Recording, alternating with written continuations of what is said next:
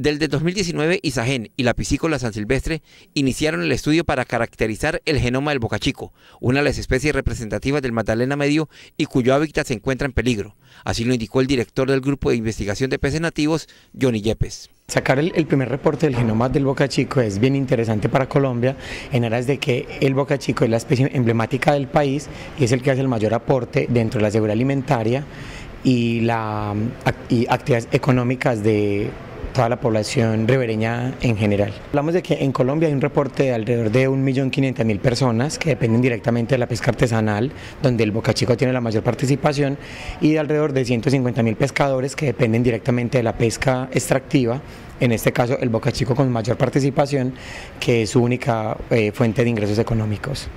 El objetivo del estudio es dotar de una poderosa herramienta a expertos y especialistas para que la especie aumente su población. Una de las funciones o de las cosas que se pueden lograr con este genoma es, lograr, es eh, desarrollar estrategias de conservación que logren eh, mejorar la participación de este pez dentro de los cuerpos de agua natural para que sigan respondiendo a esa, a esa eh, seguridad alimentaria y a esa economía campesina de todos los pescadores que les contaba inicialmente. El estudio del genoma permitirá que países como Argentina, Venezuela y otros de Sudamérica realicen investigaciones para que las especies de bocachico mejoren en cuanto a población, tamaño y resistencia a enfermedades. Tengamos y produzcamos información no solamente pues para Isagen, sino para todos los mm, estudiosos y científicos que necesiten este tipo de información para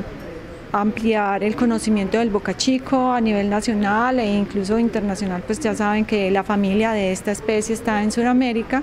y con ello